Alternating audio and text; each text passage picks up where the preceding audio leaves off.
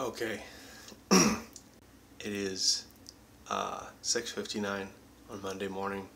I think it's August 12th. And today is the first day of preschool for Annabelle. So we're going to go uh, take a look at what she's doing right now. They must have just woken up. I just got out of the shower.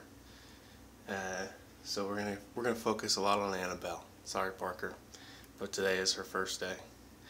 We're gonna see what she's up to. Okay. Let's go.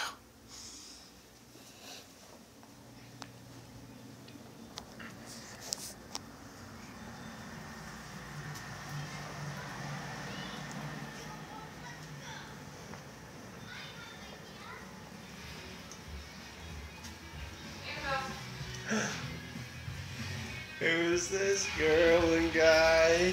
Huh? Annabelle. You ready to go to school? Yeah. All right. It's getting time, huh? Look at Oi. Oi says, I want to go to doggy school. Maybe waffle pumpkins. Parker, how you feeling, dude? You ready to go?